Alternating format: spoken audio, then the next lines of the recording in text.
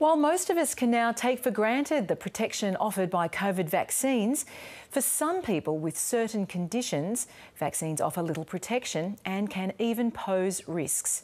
So, a new COVID prevention clinic in Melbourne's East is now offering those patients an alternative, as Roseanne Maloney reports. When Fiona Lally caught COVID 19 earlier this year, she was worried she wouldn't survive. She'd received several vaccine doses, but a health condition meant she was still vulnerable.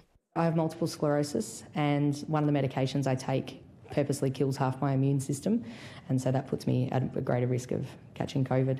Now, this clinic is giving her the protection she's been missing. Very excited, just because of the numbers going up and things like that as well, and a lot of people locally.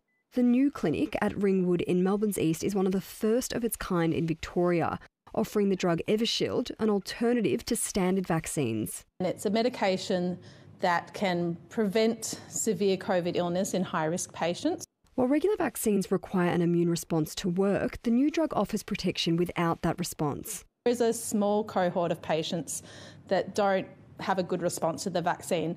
Um, so these are high risk patients that are generally very immunosuppressed. So it's shown to have an 83% relative risk reduction of hospitalisation in the six months after administration.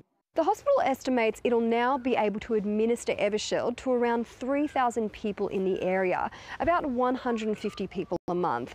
While it's only available to people in the Eastern Health area, the hospital says it won't rule out expanding the program if demand increases. We certainly would be looking to open it up to other, you know, external providers as well if, if needed. It will give me a little bit more freedom, make me feel like I can go to some highly populated places a little bit more comfortably than what I could have before. Another shot at more COVID protection. Roseanne Maloney, ABC News, Melbourne.